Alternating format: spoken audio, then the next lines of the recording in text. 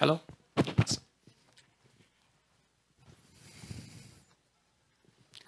Hello everyone, good morning. Was that too loud? Hello everyone, good morning. Uh, my name is Ram and I work at Facebook uh, on React Native. I'm here to talk to you about building React Native, not just building apps with React Native, but building React Native as a platform. Uh, this basically is based upon my experiences as a web developer, all the way from starting websites to building the framework itself. When I started building websites, it was mostly about changing DOM nodes here and there. There was jQuery, there was Angular. The web has actually come a pretty long way. Uh, I think the key uh, contribution of React to the UI engineering space itself is the way we think about UI going forward. Uh, the whole idea of using uh, components, it's not new, but React basically set that in stone. The fact that you can use components not just in your web applications, but also on your mobile phones was actually pretty interesting. Uh, apart from that, it's this whole idea of declaring or being declarative on your components. You know the fact that you have props, you have state, and then just using those two, you'd be able to create and ensure that React is able to manage the changes for you was a pretty big deal. You, you're, you're, you no longer have to worry about, hey, if I click on something, what changes? React takes care of it with the React reconciliation algorithm. And this idea of building the web or using these component, components as building blocks is pretty critical in the way we think about UI engineering these days. Effectively, what we describe when we are writing a React code is a tree pretty much. It's like, hey, this is what my component tree is going to look like. My page is going to be composed of components. And then this component tree is transformed into something bigger and displayed on the web page. Uh, it's all about the trees at the end of the day. I mean, uh, effectively trimming, removing components, removing leaf nodes, stuff like that. So in my talk, I'm going to talk to you a little bit about how React Native can evolve from React and also about the similarities and more importantly, the differences between these two platforms. Uh, but before I jump in, how many of you here have done any sort of React Native in the past by show of hands? Okay, that's a pretty good number. So I'm guessing most of you know that React.js is a library for writing websites. On the other hand, you can use React Native to build mobile applications for iOS, Android, and a bunch of other platforms using the same design paradigms and the development knowledge that you acquired using React Native. The idea of React and React Native basically was that you could learn the whole paradigm of React once and you could apply it to multiple platforms. I think Tomo during his JS keynote, JSConf keynote said that it's the idea of learn once, write anywhere. So uh, let's look at what React really does inside, like what, what does React really boil down to? So on my screen right now, I have a simple component and effectively that component has the tree on the other side. Now this tree is converted to a DOM structure and React takes care of it for us. Now let's say that I want to add a new element, let's say an input element to type something using the keyboard. I would change my JSX for that React would automatically change the tree and issue the necessary instructions to mutate the tree and the tree basically can then get rendered on the screen. And when people talk about like virtual DOM, which is basically a concept, it's basically this concept that, they that they're talking about. The idea of taking the first, taking a snapshot of your component tree at, at one time, comparing it with the snapshot uh, after the changes have been applied, and then using those comparisons, generating instructions that can be sent to the browser to draw stuff. Now, uh, of course, inputs are a little tricky with React because uh, uh, you inputs are controlled components. So in React, you have this a little bit of weirdness where you have to say, hey, my value is based on a state. And whenever someone types something, I'd want to update that state. So this is more like a complete component that you use with React JS today. I haven't even gotten into React Native yet. So uh, how does this really work? Now, uh, I know most what most of you are thinking hey, hooks are out for almost six months. Why haven't I moved to hooks, right? So fine, I'm not a dinosaur. I like to live on the edge. Let's just use hooks. There's no difference there. So if the same thing with the hooks example existed, this is how the code will sort of look like. Now, let's say uh, you have this application. Uh, the, the interesting thing, especially in a demographic like India, is a lot of people also use websites on their mobile phones. And React doesn't really have an opinion about whether it's a website or a mobile browser. So let's pretend that this is running on the mobile browser. So let's say you whip out your mobile phones and you start typing something. Uh, that's a native event that the browser gets. That on-change event is called whenever someone types something. Uh, because it's an on-change, it's a function that React components describe. And this will effectively say, hey, set the value of text to something else. And then that is sent back to the actual DOM element. Uh, there is nothing new. I mean, most of you should already know about this if you have done any sort of React, right? I mean, this isn't, isn't this common paradigm. So this is how React basically works. Now, uh, the question is, why does it have to be input text? Can we make it a little more generic and probably call it something that will work on the mobile phones also? So the interesting thing about mobile phones is, yes, you can display a web page, you can display a mobile browser, but there are tons of apps that look good and you will kind of look a little bit different when you're just a website, not an app itself. So uh, that's the paradigm that React supports. React lets you use, instead of saying input text, you can actually take say something that's a little bit different, text input, and this would basically render real native components that let you that, that become a part of your application. So the whole story about on change, and all of that, that is exactly the same. No difference in terms of uh, the way React versus React Native behaves in this specific scenario. However, there is a slight disconnect. Effectively, remember that on the browser, it's JavaScript manipulating the DOM, right? In React Native, there is no DOM. The components on the mobile phone are actually components that are native UI components that Android or iOS provides. Let's say the text box there is an Android text view. The uh, text box on iOS would be a UI text, right? So those are actually Android and iOS specific components, which means this interaction wouldn't really work because it's not really you being able to call a DOM method. And this is where uh, React Native starts to diverge from React. While in React, you can use direct DOM calls, on React Native, you use a concept of a bridge. The best way to think about a bridge is that it is a, it is a way for you to communicate between your JavaScript layer to your native layer or to your Objective-C or Java layer. What that means is instead of calling methods directly, you have to serialize them into something like a JSON array or something, and then send them across the bridge. So whenever someone talks to you about React Native and someone talks to you about the bridge, this is pretty much what they're talking about. The whole idea of how the React reconciler creates JSON structures and sends them over the bridge. Everyone with me till here? This is clear? Okay. There's another gap uh, in mobile, mobile app development which I have not really spoken about, and that is layouts. So on the browser, the browser understands Flexbox and CSS and all of that. Unfortunately, uh, there is no concept of a Flexbox or any of the other browser CSS styles on a mobile device. I mean, Android has its own layout system. iOS has its own layout system, but they're not, they're, they're actually different from Flexbox. In fact, both on Android and on iOS, your layout components are a part of your uh, component tree.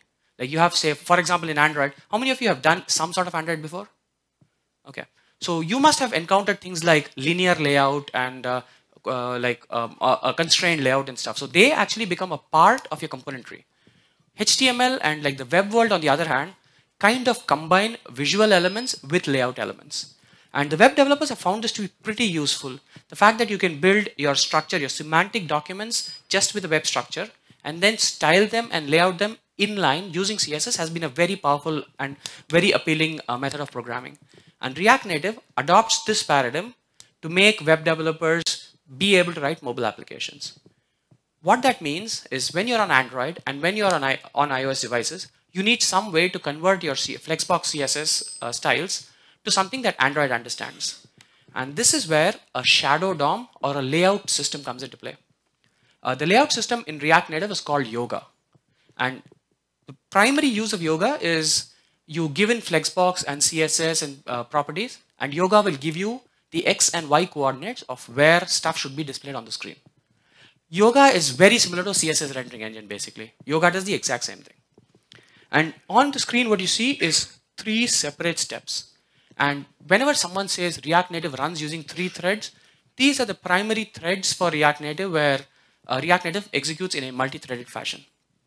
What this also means is JavaScript has its own thread, while the UI layer has its own thread. And this is very different from the way React works. On the React, your JavaScript thread pretty much interrupts the UI thread, right? React Native has these multi-threaded applications, multi-threaded uh, way of doing things right from ground up. Now, uh, this can be an interesting dance. So let's see how a typical like let's take the example of a typical render method and see how stuff starts getting rendering on the screen. So what's going to happen is as soon as your application is loaded, your mobile phone is going to say, hey, I'm ready. Let's go draw something. Uh, there's an asynchronous call from the mobile to your JavaScript layer that says, hey, come on, render method, tell me what should I draw.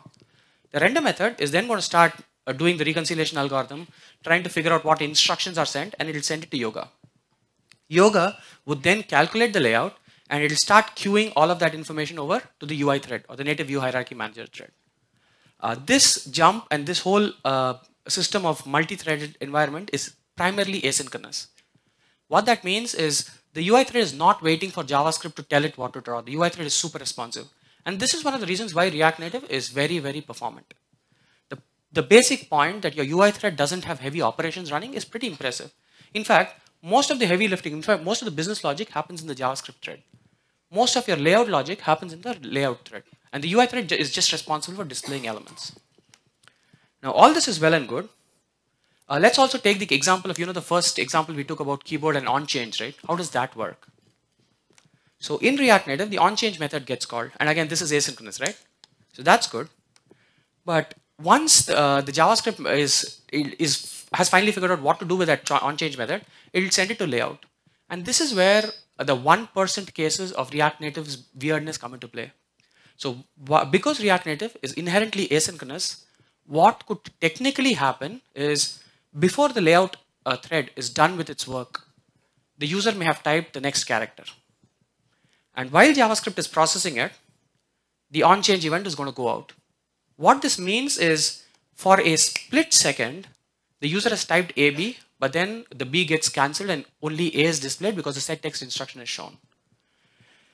This is sort of a collision between, hey, this is what I want my state to be, but uh, this is what my state is. So yes, you will get eventual consistency. But for that split second, there is this weirdness where you say, hey, I typed something, but it doesn't show up. Of course, this is a little bit weird, right? I mean, we have we don't see this behavior on the web. This is one of the key, uh, this is a side effect of the whole process being asynchronous. This is typically a race condition. Of course, eventually the final method will get called and the text will be set to AB. So the whole thing is fixed, so this is not that big a problem. Uh, however, this kind of has a janky effect. Like the user suddenly sees B removed for a minute and then show, showing up again is a little bit janky and it's not the best of performance experiences, right? Like what you want is smooth, native, first-class performance experiences and even slight glitches like this could be an issue. Again, this is only for the 1% cases or even less than 1% cases. But React Native wants to fix this also. Here's a much more pronounced use case that you see. Remember I told you that React Native UI thread is responsive? It actually is. In fact, it's so responsive that the scroll doesn't stop. And because the scroll doesn't stop, even though JavaScript is not sure what to render for certain elements, the scroll will continue. So what you see is actually white, uh, white space, and then the, the, the elements start showing up eventually. Now, this is interesting, and this is an accepted paradigm on the web. Like on the web, if you start scrolling, you can show placeholders, and that's perfectly fine.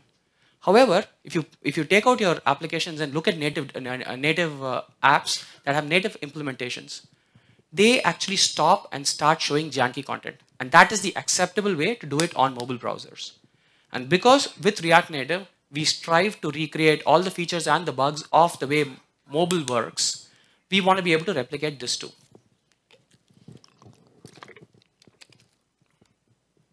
So by, by now, I'm, I'm sure most of you are thinking, hey, all of these problems don't exist on the web, right? Why is that? Well, that's because on the web, it's all synchronous.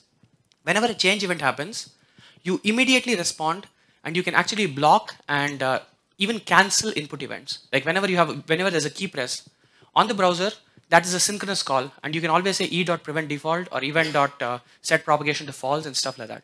You can't do that on, on React Native because it's a completely separate thread.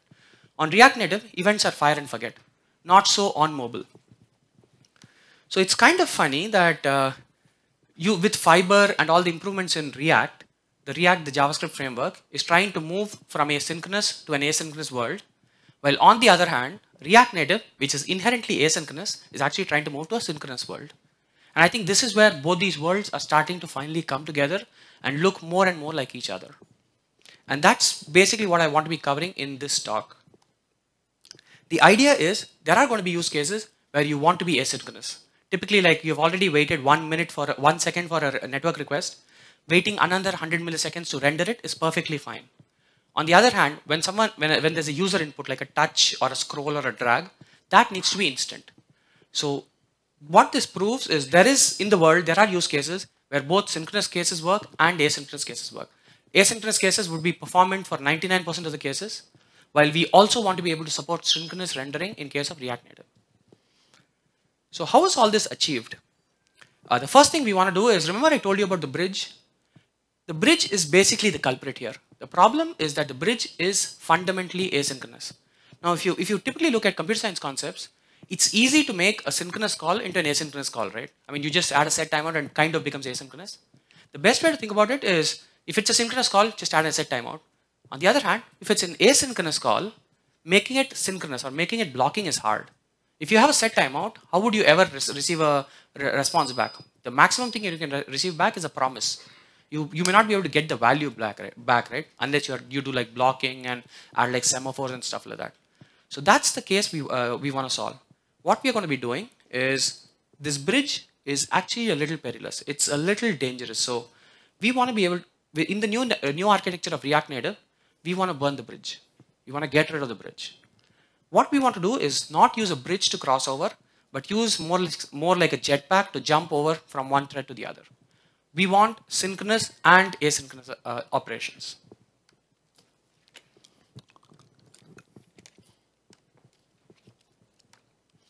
Now, what does that really mean? Uh, before I explain what React Native does, let's take some inspiration from what React does. And let's see how that mirrors to what React Native could do. So the bottom part that I'm going to show you here, show you here is what, how the browser works. So let's say in the browser, you use an API called document.createElement. What does the what does it give you back? It gives you back a node, right? And then you can use this node to append child to somewhere and stuff like that.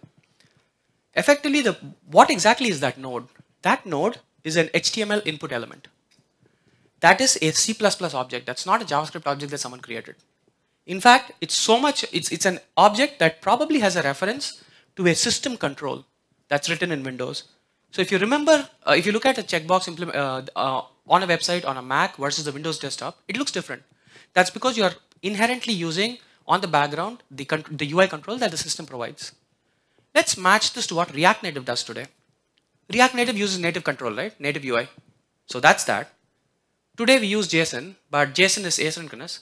What we want is a API like this. And what we want to be able to do is exactly what the browser does. So in a way, React Native is starting to look more and more like the browser in the new world, in the new architecture. Uh, surprisingly, over the four or five years that React Native has been around, it hasn't changed fundamentally. I think, and I think this is one big change the, the, the, scale of the change that's happening right now is probably much, much bigger than anything that has happened in the past. And this is good not just for performance, because you now will be able to make animations much faster. This is also important to ensure that your applications continue to work and look just like native applications. So here's the fundamental idea. The idea is what you need is not a bridge. What you need is an RPC call or a method call. JavaScript should be able to call Java functions directly. That's the basic idea. The basic idea is all of these Java or Objective-C methods are directly exposed to JavaScript via C++ host objects. The reason you have to do C++ host objects is because React Native bundles a JavaScript VM or uses a JavaScript VM to execute your JavaScript code, and that's a C++ object, right? So JavaScript needs to be able to call these methods, and JavaScript will be able to hold references to native objects. Uh, let me explain in terms of code how this might look like. And the first thing to understand is whenever someone, whenever you're talking to someone and they say JSI, this is the basic idea they're talking about. Now, uh, JSI is is a pretty interesting idea because this base is the is the basis of all of the new and improve uh, new improvements that we are making in React Native. For example, in case of view managers or in case of UI elements, what's going to happen? So in case of UI elements, all of you, all of the view managers are going to be exposed as host objects. and then React reconcile You know the set props and set value that I showed you for initially? That's going to be, instead of serializing it, you can actually call that from JavaScript into native land. So in terms of code, what it might, like this is pseudocode, so this may not work, but here's what you do in the browser, right? What you'll be able to do with React Native is something like this. So this is not the exact code. Again, this is pseudocode, and this is in, in flux, but the idea is this. You'll be able to create a node on the UI manager directly. And that node is no different than an HTML input element, except that node may be implemented in a C++ object like this. And this is starting to look like JavaScript uh, already because if you see, there's a getter object. So this one here is getter, is a getter. It returns a value. And if the method is create node, what it basically says is it invokes an Android or an iOS API. So whenever JavaScript calls create node, it will call a C++ method, which will eventually call an Android or an iOS method to create the view or create a UI view or create a, create an Android.view. And all of this again is synchronous. If you want, you can make this method asynchronous. Basically what you can do is add, create a new thread in here or create a new thread inside the Android API or the iOS API and make it asynchronous. so this is for UI manager views. What about native modules? So in React Native, if you want to access Bluetooth or geolocation, you use this idea of a native module. Everyone here knows what a native module is? Sort of? Okay. So let's, let's take the example of the browser. In the browser, this is how you uh, take a picture or record a video. What exactly is Navigator? So you said navigator.get user media, right? What exactly is Navigator? Navigator is window.navigator, but it is actually a C++ object that the browser exposes to you on the JavaScript side. In React Native, there's no window or there's no global really, so you might just require a native module called camera and then call the method on it. Just like the view managers, the C++ is going to be, hey, the, uh, the get native module camera will actually be a host object. And whenever the get pictures method is called here, that would call the Android or the iOS get picture API. And again, remember, because this whole thing is a synchronous call, JavaScript will be able to directly call into native Java or native iOS uh, methods. so here's a simple use case of why this is much more performant than what we have today. So let's say you have a scenario where you want to take a picture of what you're eating and upload it to Instagram. The way you do it is you'd get the native module for taking a picture. That will give you a picture back. And then you'll call the upload method and pass the picture in. Right? Like this, this is this is straightforward, right? Today what happens is this is what happens. So on the that's the JavaScript side, you have the Android side here. The get the get pictures method returns a picture which is sent over to JavaScript. And then this JavaScript is sent back to upload. Unfortunately, because these are two different lands and because you have the bridge today, you have to do JSON conversion for both of them. And imagine converting a blob type to like JSON and then sending over. That's painful. In the new world, in the future, the way it's going to look like is this. Get picture will actually be a picture C++ object and JavaScript can hold a reference to it. And when you want to pass in this, you just pass the pointer back in. In fact, because this is a pointer, you can actually start even calling methods on that picture object. And this, this way of direct calling is much more similar to what the browser does. And if you think about it in retrospect, you'd be like, hey, why isn't React like this from, from the day, uh, uh, day one, right? So you saw a lot of C++ code. How many of you here are C++ developers? Two, three, four, five. Okay. How many of you are JavaScript developers? Okay, keep keep your hands up. Keep keep your hands up. How many of you? So keep uh, all of you who are a JavaScript developer and want to write C++. Keep your hands up. Others, put your hands down. That's that's surprising. I mean, look around you. There are JavaScript people aren't really super interested in writing C++ yet, right? So the question is, are, uh, does it mean that you have to write C++ in React Native? Not really. In fact, most of the code that you saw about the host object and stuff is sort of repetitive. If it's repetitive and if a computer can do it, why does why do humans have to do it, right? So we are actually thinking of a code generation system. The idea of the code generation system is this. Uh, you'd use something like Flow or TypeScript to define what your native module or what your view manager is going to look like computer can look at this and says, hey, this is a native module and these are the different functions in it. And we can have a system that generates the C++ module for it. Uh, there, there's another hidden advantage of this. So uh, effectively, the big advantage is one, you have the C++ code generated, so you don't have to worry about it. But more importantly, when you do things like over-the-air updates, a lot of people have pain trying to compare the native version versus the bundle version. For example, you have native version 1, you have a bundle version, and then that bundle version uses a new API. Can that new bundle go to older versions of your app that's published? So this is really painful. And with this new architecture, and the reason why this exists today as a problem is because you might have a type system in JavaScript, you have a type system in native, but there's no way to translate them between each other. And this whole code generation will actually solve that. You'll be able to translate your types into C++ types and tell exactly what exists on the device.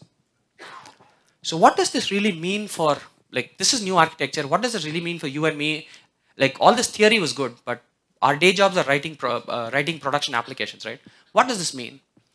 Uh, for JS developers, almost nothing should change. I mean, the JavaScript code that they write is going to be pretty much similar. There's going to be code gen and all that is going to be very similar. For people who write native modules or for people who write uh, view managers, like basically people who write Java, Java code or Objective-C code, we'll have, this is going to be backward compatible. So you can, so if you want the performance, you can convert your existing native modules and view managers into the new system, or you can continue using it with the backward shim, which obviously is going to be a little slower than the modern system. Question is, can I use this? What's the state of this? You'd be surprised to hear, but a lot of this code actually exists in React Native GitHub repository today. Technically speaking, if you want, you may be able to, again I say may because I don't know what the, what the state of it was last night. I tried it and it worked last night. I don't know if, it, if something changed today. But you may be able to create a turbo module or a view manager. All of this code, or at the minimum, if you want to understand how the system works end to end, you should be able to read the code and figure out like, hey, this is how the end-to-end -end system looks like. So all of this is actually in production right now. In fact, in Facebook, we are testing the system to ensure that this doesn't crash and the performance is, is actually as good as, as good as what we uh, uh, say it is. And this is backward compatible. The, the goal here is we want, it's not backward combat, it's backward compact. We don't want to fight backward compatibility. You, you remember how when fiber came in, you didn't have to worry about it as much? You remember how hooks came in and you didn't have to worry about it because hooks was just one way of doing things? I think that's something I really like about the React team. The React team uh, very consciously thinks about their APIs and ensures that they are backward compatible. And we want to follow the same suite. So that's about the new, new internals of React Native. But React Native is not just about Facebook or not just about what we are doing. React Native is about the community. Uh, I'm not sure how many of you are following the React Native blog, but there was a time when there were tons of pull requests and tons of issues and people were not sure what was happening and there were companies not using React Native and stuff like that. Things have improved tremendously since then. If you look at the way React Native is effectively structured today, there are a bunch of view managers, there are a bunch of native modules, which run using a singular React instance layer on which there is a JavaScript VM and this is where React.js and your product code work, right? Of course, there are multiple of these view managers and native modules. So one of the things we are doing is to ensure that the community has the power. We are moving many of these outside into the community repository. What this means is React Native will be much thinner. This effort is codenamed Lean Core. And what this means is your upgrade. So a lot of people actually have trouble upgrading React Native. Now that React Native is going to be much more thinner, it'll have much less components, upgrading is going to be much easier. In fact, a lot of this, uh, the benefits of this, we are already starting to see now. The latest version of React Native replaces React Native div and uses React Native purge div, which makes upgrading much, much, much better. Similarly, we are going to now start supporting CocoaPods by default, which means that all of that pain about you going to have, you're going to try and understand the Xcode project and modifying it, no more. You can just use CocoaPods and upgrading will be much, much easier. The, the whole paradigm here is React Native is a community project and it is the community that is able to make this framework so powerful.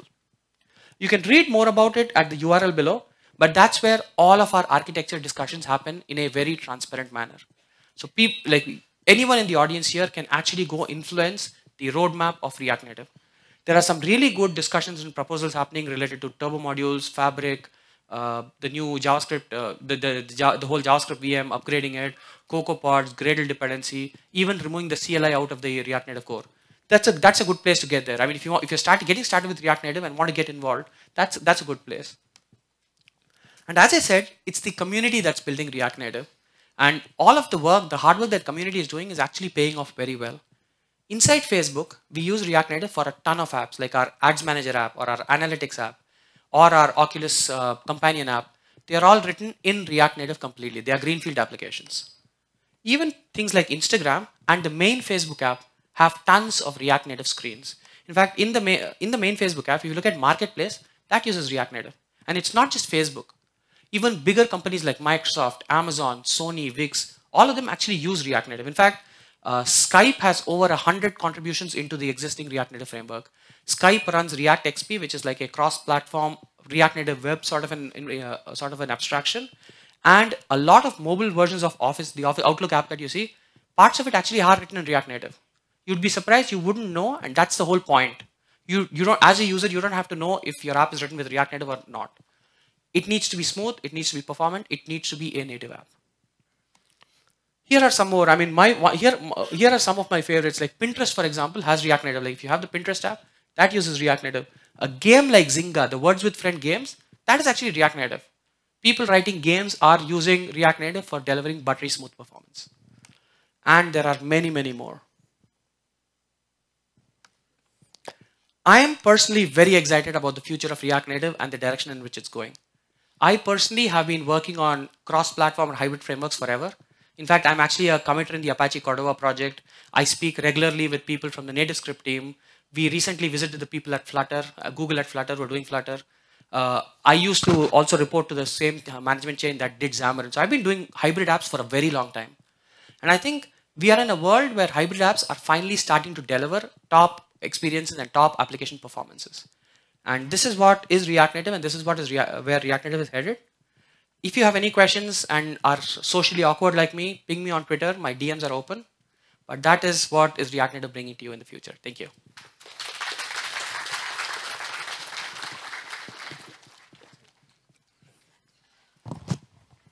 Okay, so we will be taking the questions now.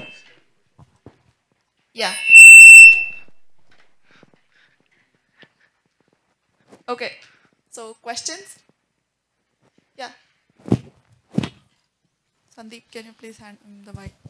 Hi Parashuram, my name is Manu. Uh, I wanted to ask, uh, what are your views on React XP? It sounds like a good concept that you write code once and have it work on all platforms, but why is it not taking off or you know, what are your views on it?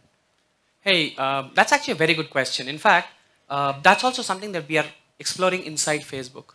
Uh, I, am not sure if you've heard, but we have hired Nicolas Gallagher, who wrote React Native Web. We also hired Vincent Riemer, who wrote React Native DOM. And Facebook internally, I think we do believe in the React way of doing things. Today, a lot of people think about React Native and React DOM as two like two disparate, disparate systems. What the way we want to think about it is there is a React way of doing things, and React DOM, React Native, React VR are just ways or renderers on top of it. So I actually really like the idea of React XP, and React XP is not the only one who are trying that. There are multiple of these people who have, like there are multiple places where uh, e, uh, where people have like one component library and then uh, they just reuse it. In fact, yesterday I visited yesterday I visited Myntra and Flipkart, and there's a there's a talk by the people from Flipkart who's going, who are going to talk about this. But this is a very interesting interesting concept that's that's getting. Uh, so this is an. Uh, it's something that's getting picked up, and I think this is where the future is, and people are starting to pick up. I wouldn't say it's not like React Native, is, React XP is not popular. Re Skype is using it, and again, the JavaScript community likes drama. So saying popular versus non-popular is, I mean, if it works for you, it's it's, it's popular. That, that's the way I would put it. Thanks. One more question, sorry. So uh, uh, the concept of having uh, JavaScript call your C++ uh, functions and everything sounds pretty much similar to WebAssembly. Is it something that uh, React Native is aligning to? Is it something uh, React is investing into? I mean, I can't talk to what React is doing, but uh, it's similar to what the browser is effectively. Like Thanks. browser does this, React, it only makes, this, this makes natural sense if you think about it. Okay, next question, anybody?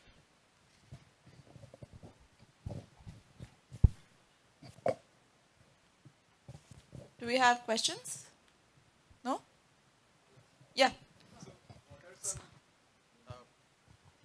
what are some components that are being moved away from core React Native? Like I saw that async storage is being moved away. So, So the netinfo question is, being moved away. the question is, what are some of the components that are getting moved out of the core? So last half we experimented with WebView. How many of you here use React Native WebView? And how many of you know that it, it's horrible, right? Like it uses the old system and uh, stuff. So Facebook hasn't been able to do justice to React Native WebView. We moved WebView out, and in a matter of two months, not only were they able to rewrite or like move it to the newer versions of WK WebKit, uh, WebKit but they were also able to uh, accept a ton of pull requests. So that's the basic mentality. And what we are trying to do is we are trying to move out all non-essential or all components that we think the community can handle. So one set of components are like components that are either iOS specific or Android specific. Snapshot iOS, Android progress bar, things like that are moving out. The, the second set of components the second set of components are components that we believe the community is heavily invested in and want to pick up and run with it. Like there are people who have expressed interest in ensuring that async storage moves faster. And there's no reason for Facebook to be blocking them. And we, we figured, hey, let's just move it up. That's the general philosophy. And I think in general, the community has been doing an amazing job. The rate at which now people can merge pull requests is much, much faster than if it was only Facebook being the bottleneck.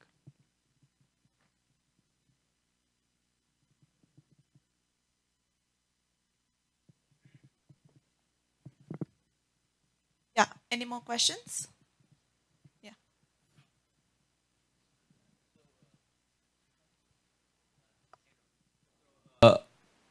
So my question is that uh, for uh, if if you are a new developer, uh, you want to start on uh, on open source, and if you want to uh, work on uh, on React Native or uh, try to uh, build on some of the modules which you have externalized, uh, what are what are some of the tips which you would what you would offer? So I think that's a very good question, and it's it's a question that comes up uh, comes up often, especially in a demographic like India, where people want to get involved, but there are no clear guidelines, unfortunately. So my recommendation would be remember the uh, URL I showed you about discussions and proposals. Go look at that, and that actually has a call for action. It says, "Hey, are you interested in picking up this component? You should go pick it up." So that's one way. The other way is, uh, so I actually spoke with him yesterday. He's from Myntra, and Myntra is doing some really good stuff with React Native. They have some amazing components and if they were to open source those components that in itself will be a big deal. So that's another like if you're a company and you think there are uh, that you have built some really good uh, components open source them. At the minimum there'll be this extra overhead of people sending you pull requests and stuff sure. You can choose to ignore them but effectively that's actually a good way to get started because remember everything that you like you personally may not think that that's a big deal but for people outside the work that you do is actually a big deal so there's nothing wrong in either putting stuff that you're already doing out there or trying to see if there are any call for actions and getting involved with that. In fact, uh, almost like two months ago, Eli, who's on our on the React Native team, he said on Twitter he posted, "Hey, here are some first tasks. Can anyone help us?" And all of those tasks were were picked up by people who have never ever contributed to React Native. And now they're actually starting to own bigger pieces and bigger chunks of React Native. And that's actually a pretty big progress from like in two months from doing your first PR to now managing the entire community. So that's actually another good way to do it. Watch out for the Twitter, uh, like follow me or follow like to people on React Native and we kind of ask about this. Or the better place is on GitHub where the discussions and proposals happen. Thanks.